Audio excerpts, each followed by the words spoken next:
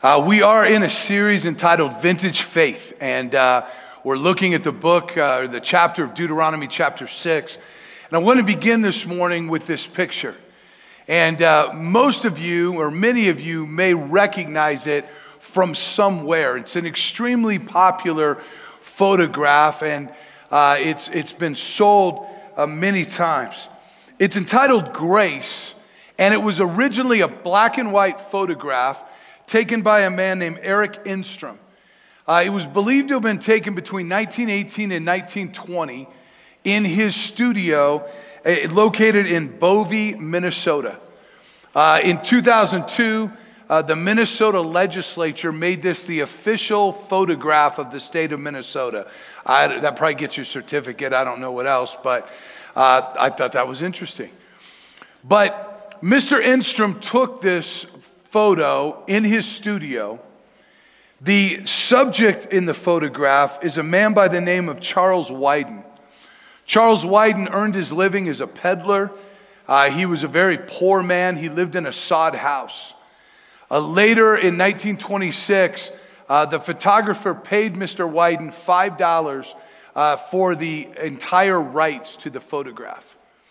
Uh, later, when the photograph became very popular, Mr. Enstrom, the photographer, tried to track down Mr. Wyden, but he couldn't find him. And historians and even family members of Mr. Wyden have uh, done some research, and nobody really knows what happened to him.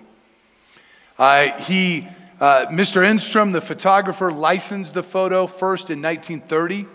In the 1940s, uh, the photographer's daughter hand colorized the photograph. I thought it was a painting because when I was a kid, uh, this photo hung in one of my great aunt and uncle's house. That's where I remember it from.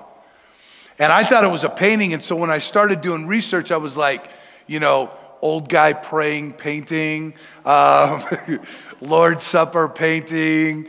Uh, and then it came up, and then, like everything else, Wikipedia told me all. But you can still buy this uh, on Amazon or eBay. You can still buy a print of that. Uh, it's very popular. And I bring this up because I think it relates to the passage of scripture that we're going to look at this morning.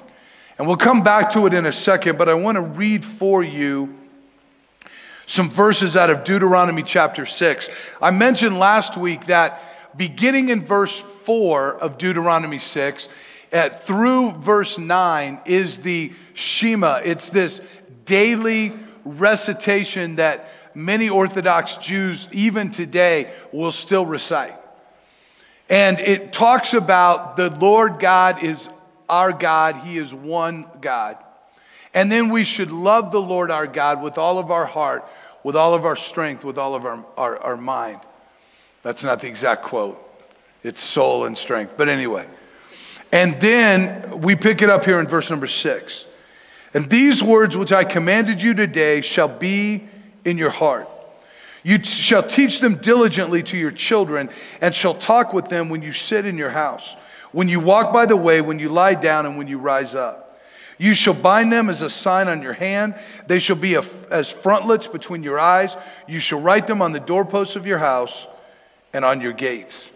And so, uh, this, this saying, this set of verses, be, has become very uh, familiar and very dear to the Jewish people. Moses was giving it to this generation about to go into the promised land. And he said, Listen, he, he gives them what we view as the great commandment, right? What Jesus affirmed as the great commandment that you're to love God with everything that you have and all that you are. And yet, and so Moses gives this command to the people, and then he says, Listen, you've got to keep it before you all the time. You've got to tie it around your wrist. You've got to put it uh, between your eyes. You've got to put it on your doorpost. It needs to be a part of everything that you do. And so I want us to, to kind of break this down and look at this this morning and make application to our lives. And these words, Deuteronomy 6 6, which I commanded you today, shall be in your heart. We talked about this a little bit in our connection group teaching last week. this idea that we, we use different parts of the body to sort of distinguish different things that we mean. You know, we'll, we'll often say about a decision, well, I went with my gut. Well, that's not physiologically true, but we understand what we mean. We talk about the heart as being sort of our emotional center. You know, we say, I love you with all my heart, or, we have a broken heart. We talk about our head, our mind being our intellectual center, which, uh, of course, is more applicable to actual biology than our heart, which is really a muscle that pumps our blood, right? And yet we understand what we mean. And here, Moses says these words need to be in your heart. You need to, to know them, they need to be dear to you. God speaks to us through His Word, and His Word is truth. Psalm 119, verse 160 says this The entirety of your Word is truth, and every one of your righteous judgments endures forever. God's Word is truth, and God speaks to us through His Word. We have the written word of God left for us in the Bible, the Holy Bible. And then we have the incarnate word. We have the example of how we should live in Jesus Christ. In John chapter 1 and verse 14, it says this And the word became flesh and dwelt among us, and we beheld his glory, the glory as of the only begotten of the Father, full of grace and truth. God's word is truth. Jesus Christ being the Word made flesh, He is truth. His words are truth, His actions are truth. And so we have the Bible and we have Christ as God's Word that needs to be in our heart. Jesus in John chapter 17 prays his high priestly prayer. He prays this prayer for, his, for himself, for his followers, and then he says he prays for his followers to come.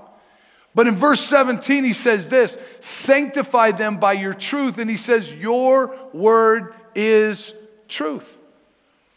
God's word is the truth. And Moses says to the, to the generation about to go into the promised land, it's preserved for us today that these words, the commandments of God, need to be in our heart. They need to be a part of our life. And if we're not careful, we can look to other things, excuse me, we can look to other things as being more authoritative than God's word. And that ought not to be. Listen, a, a preacher and a sermon are, are not any more authoritative than as they are based on the authority of, of, of the Word of God. That the Word of God is truth. My words, I, I want to make them truth, but you need to be cautious with that. Uh, some other book about Jesus or scripture may help to enlighten Jesus and the scriptures for you, but it's not truth in the way that God's word is truth. And nothing that we find is truth unless it aligns with God's word. Because God reveals himself through the scriptures and through his son. 2 Timothy chapter 3, verses 16 and 17 says, All scripture is given by inspiration of God and is profitable for doctrine, for reproof, for correction, for instruction in righteousness, that the man of God may be complete, thoroughly equipped for every good work. I was thinking about this a little bit, and I want to be careful because I don't want to offend you this morning, but I want to declare the truth. I remember it's been years ago. Uh, we had a gentleman in our church, he contracted cancer, a young guy. And it was, it was difficult to watch as the cancer just ate him away. And he was really just skin and bone. He was in his home, he was on hospice. And I happened to be there visiting him the day and the moment in which he passed away. And as a pastor, that wasn't the first time, unfortunately, that that circumstance has taken place, but I was there and, and he died. And there were medical professionals that were called in and they declared him dead. And several of his family members were around. And it was a small home in which he was, he, which he was. And, and I went outside and, and a couple of family members went outside with me. And we just wanted to get some air and uh, stretch our legs a little bit. It had been a couple of hours. And there, as we walked and kind of made our way across the yard to the sidewalk and looked back at the house where he was, it was a beautiful day, but it was one of those days in Colorado where you've got some clouds rolling in. And it hadn't rained yet, but there were dark clouds behind the house, and there was a beautiful rainbow. And it was, it was gorgeous. And in the setting, and for the family, it was extremely emotional. Now, that's fine. But that rainbow is not the authority on which you should rest that God has told me that this person is in heaven. Now, I believe the, the, the, man who died, Darren, I believe he's in heaven by the testimony, the fact that we talked many times about how he knew Christ as his Savior and that he would spend eternity in heaven. And that rainbow was beautiful and it felt good to see it. But that's not the authority of the truth of the Word of God. You understand what I'm saying? It affirmed the truth that we knew. And so it was, it was great. But we can't rest on that event, on, on a natural event or an emotional thing. I know people that have, have relayed to me where they say, you know, preacher, I've been praying about something and, and God gave me a dream. And listen, God can speak to us in a, in a myriad of ways, and certainly in His Word, He's spoken in dreams. But if that dream doesn't coincide with the truth of God's Word, then I would question whether that dream is really from God. Because God's Word is truth. And so, again, I'm not trying to, I don't want to offend you this morning, but you know, God has revealed Himself through His scriptures and through Jesus Christ. Anything that contradicts with that is not from God because God's word is truth. And so something that contradicts with the truth is false. And so we need to understand that. And so Moses says, listen, these words need to be in your heart. God's word guides us. Psalm 119, 11 says, Your word I have hidden in my heart that I might not sin against you. God's word helps us recognize sin and temptation and helps us to avoid it. Psalm 119, verse 105 says, Your word is a lamp to my feet and a light to my path. God's word guides us. It helps us to know where we ought to go and, and helps us to make decisions in our lives that, are, that will keep us on the path that God would have us to go. God's word guides us. It keeps us from sin and it keeps us doing the things that are right. If God's word is not in our heart, then our heart can betray us. See, I, I think this is what can happen if we're not careful. We can, we can begin to look at other things, and before we know it, God's word is not the, the, the guide in our life. God's word is not the standard of truth in our life. Other things are, and our heart can deceive us. Jeremiah uh, chapter 17, verse 9 says, The heart is deceitful above all things and desperately wicked. Who can know it? I, the Lord, search the heart. I test the mind, even to give every man according to his ways, according to the fruit of his doings. Listen, I think I've relayed this story before, but it's the most tangible, or one of the most tangible illustrations of my life of frankly something that happens all the time, which is I sin and don't realize that I sin. I was uh, a youth pastor many years ago. Uh, I was at a camp, and I kind of got in a conflict with this guy. Not, not, we weren't throwing punches or anything like that, but just kind of an argument. And I was convinced that I was right. And on the substance of the things we were talking about, I was right. But my attitude wasn't. And here's what happened I didn't know that guy, I didn't see him. We didn't really resolve anything. Uh, like a year later, I'm sitting in a conference and that guy walks in. And I hadn't thought about that confrontation, I hadn't thought about that guy in 12 months. And when that guy walked in the door, this is, listen, I know God speaks in a still small voice, but the Holy Spirit works with, in my life with gut punches because that's what I need. I'm telling you, when that guy walked in and I looked at his face, it was like the Holy Spirit went, I was like, oh, I owe that guy an apology. Like I wasn't godly in the way that I conducted myself towards that guy. I hadn't thought about it. I'd prayed, I'd read my Bible, I'd received communion. I mean, I was trying to live a godly life, but in that moment, the Holy Spirit said, You were wrong. And as soon as that first session was over, I had to get up and, and I, I, I apologized to the guy, and he's like, I don't even remember what you're talking about. I was like, shoot, I could have just, you know, prayed for forgiveness or something, but that wouldn't have done it. I had to humble myself. And oftentimes, God will reveal himself and, and, and, and communicate his truth to us. Because if we're not careful, our heart will deceive us. We'll think everything's good. We'll think we're, we're rolling along pretty good. And that's why we need God's word in our hearts. And then he says this in verse number seven of Deuteronomy 6 You shall teach them these truths of God's word diligently to your children. You shall talk of them when you sit in your house, when you walk by the way, when you lie down, and when you rise up. That phrase, you'll teach them diligently to your children, uh, a literal interpretation is you'll sharpen them to thy children. I thought that was interesting. And then I remembered Psalm 127 that says this about children. Beginning in verse 3, it says, Behold, children are an heritage from the Lord. The fruit of the womb is a reward. Like arrows in the hand of a warrior, so are the children of one's youth. Happy is the man who has his quiver full of them. They shall not be ashamed, but shall speak with their enemies in the gate. Here in Psalms, it says, Children are like arrows.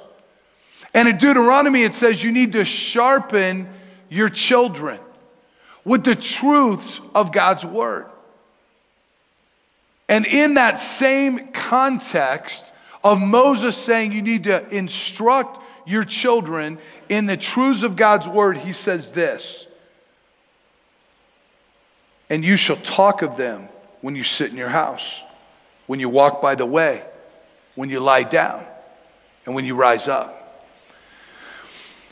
we sitting around my house yesterday morning on kind of a lazy Saturday morning, and my son and daughter-in-law are with us right now for a few more weeks, and my daughter Kinsey's still at home. And I told him, I said, uh, the message I'm preaching tomorrow, I'm a little scared of because I'm going to talk about kids, and God gave me three, and so I have to. It's a natural illustration. And preacher kids love to be used as illustrations. I found out. Here's the truth I'm far from a perfect father, and my children are far from perfect children. I think I'm farther from a perfect father than they are from perfect children, just so you know. That's my wife's doing and grace of God in my life. But the one thing that I told my kids yesterday, and my daughter, my other daughter's at college, but I said, I hope that in your growing up. My two kids that are out of the house now, I recognize uh, maybe I should have done this better. I know I should have I should have instructed them in this way or I should have been less harsh in this area and I recognize weaknesses in my parenting. But I told my children I said I hope you know that your mom and I love Jesus Christ. And we don't just say we love Jesus Christ on Sunday, but we try to live that out all of the time. And that you see an example where we talk a talk and walk a walk that is consistent. And that is the greatest thing that we can give to our kids and to our grandkids. And Moses said, listen, this needs to be something that's happening all of the time. Being a Christian isn't a Sunday thing. It, it's, it's a seven day a week, 24 hour a day thing. And so we need to teach our children and we need to model what we teach. Psalm 78, verse 1 says, Give ear, O my people, to my law, incline your ear to the words of my mouth. I will open my mouth in a parable. I will utter dark sayings of old, which we have heard and known, and our fathers have told us. Here the says, uh, ooh, here the psalmist says, I'm going to say what my father has told me. We will not hide them from their children, telling to the generation to come the praises of the Lord and his strength and his wonderful works that he has done. And I like that phrase that the psalmist uses. He says, We're not going to hide it from our kids. I'll just give you a little of my wisdom that I think is based in God's truth. You can analyze it for yourself. Listen, you shouldn't give your kids the choice of whether they come to church or not in my opinion. I don't think you got to give your kids a choice of whether uh, they want to learn of Jesus or not. I don't give my kids a choice of whether they brush their teeth or not. I didn't, I didn't go to my kids when they were about five or six and go, hey, do you think you might want to pursue education? You know, because there's kindergarten, and I was thinking that you could learn to read and write. Uh, some of my kids probably would have done that, but a couple of them might have been like, nah, I'm good. I didn't give them a choice. Why? Because I'm the parent. I have the responsibility. So I made them brush their teeth and I made them do certain things and they didn't always like it. And I made them go to school and I made them do their homework and when they didn't, they got in trouble. It was a super oppressive situation that they grew up in. But I did that because I loved them. And you know what? We never had a discussion about whether they were going to go to church or not. This is what happened. We got up, they got up, we got ready, and we went to church. You say, well, yeah, because you're the pastor. No, that's why I come to church. They come to church. That's a joke. Some of you'll get it in a bit. It's because that's what we do. You know what we did when I wasn't a pastor? We still went to church. Because I think we need, the Bible tells us that we need to gather together. And it wasn't just on Sundays. We need to lead by example. Ephesians 6 and verse 4 says, And you fathers, do not provoke your children to wrath, but bring them up in the training and admonition of the Lord. I like that word, training. We have to train our children. We have to instruct them, and when they don't get it right, we've got to correct them. Not because we want to create little spiritual robots but because as parents, God has entrusted us, and as grandparents, God has entrusted us with kids, and they're a heritage. And we need to train them in the things that we know to be right. Listen, I, t- I, I taught my kids things like telling the truth and working hard and trying to be good with money, all things that I think are important, but none of those things are more important than for, for them to have a relationship with Jesus. And so the truth of God's word needs to be in our family. And then finally, this morning, the truth of God's word needs to dominate our life. Verses 8 and 9 of Deuteronomy 6 says this You shall bind them as a sign on your hand, and they shall be as frontlets between your eyes. You shall write them on the doorposts of your house and on your gates. Now, the Jews took this literally.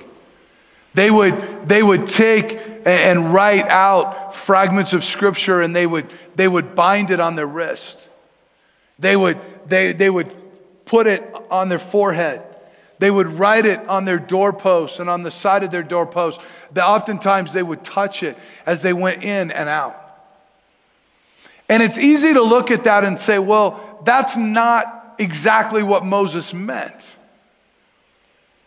And we're going to make some, some spiritual applications, but as I thought about that, I thought, think about the things that we do. I don't own a lot of uh, jerseys or different sports uh, shirts. That's not really kind of what I do, but I do own a couple. And they are basically, I have sports, two sports teams. Number one, the Denver Broncos. And I, I know that they're, I, I know that they're bad. But you know what? That's my football team. I grew up in Denver. I live in Denver. That's my team. You say, yeah, well, Denver. Well, I don't care. That's my team. And because of that, I hate the Raiders and the Chiefs. And if those are your teams, God bless you. But I'm just telling you, that's how I am. And I've got the Colorado Rockies. You say, oh, do you like the Rockies? Eh, my wife loves them. And when I go to a baseball game, I want to wear the home team, and so I have a couple of shirts and a hat. And I like the Rockies too. I just like to be, be contrary. And in my house, we have a little thing how many days till opening day of baseball season right now? We count down to Christmas and then we count down to opening day. That's the way it works in my house. Why? Because I'm passionate about those things. Well, so could my kids grow up to be a Raider fan? I mean, I guess they could, but not in my house. Because that's important. But it's not as important as Jesus. And we would display that. Now, I don't have a big Broncos anything in my house anywhere, but if you go up to my office, uh, Jerry Perez works with metal, and he cut out a, a, a, metal Bronco head, and that's in my office. It's awesome. It's cool. It's, not, it's in one of my bookshelves. And I've got some other Broncos things. Why? Because I'm passionate about that. You go over to another section of my office, and there's a, picture there of my father on a motorcycle, on a police motorcycle, because my father was a policeman and he, and he rode motorcycles. And there's a little figurine of a police motorcycle, and there's a couple other little Harley things there. And, and there's a picture, uh, there's two pictures of each of my daughters with me on the back of my motorcycles. Because that's something that I enjoy. And it's displayed in my space. The other prominent thing that's there, there's pictures of my kids all around the office and my wife. Because that's what I love. So think about what's in your home, what's in your office, what's in your space. And would someone look at that and know that you love Jesus? Now, that doesn't make you spiritual. I'm not saying you got to have a bunch of crosses or a bunch of scripture, but I'm saying if it's a part of your life, your personality, it's going to come through somehow. The things that you love and are passionate about are going to be displayed. And this is what the Jews did very quickly. Moses said it needs to be a sign on your hand. That's really the idea of work or action. Colossians chapter 3 and verse 23 says, Whatever you do, do it heartily or with all your heart, as to the Lord and not to men. The fact that we are in a relationship with Jesus Christ should affect our work, should affect the things that we do. He said, Put it as frontlets between your eyes. This has the idea, obviously, on our head of our thoughts, but also our eyes, which give us direction. We, we look in the way that we go. Proverbs chapter 6 and verse 20 says, My son, keep your father's commands. Do not provoke the law of your mother or forsake the law of your mother. Bind them continually upon your heart, tie them around your neck. When you roam, they will lead you. When you sleep, they will keep you. When you awake, they will speak with you. For the commandment is a lamp and the law a light. Reproofs of instruction are the way of a life. Proverbs 7, verse 1 says, My son, keep my words, treasure my commands within you, keep my commandments and live. And my law is the apple of your eye. Bind them on your fingers, write them on the tablet of your heart. Say to wisdom, You are my sister, and call understanding your nearest kin. And so God's word and our relationship with God should affect our work. It should affect how we walk in the direction, how we think. And then finally, he says, write it on the doorpost and our gates. All of our activities, all of our comings and goings should be affected by our relationship with Jesus Christ.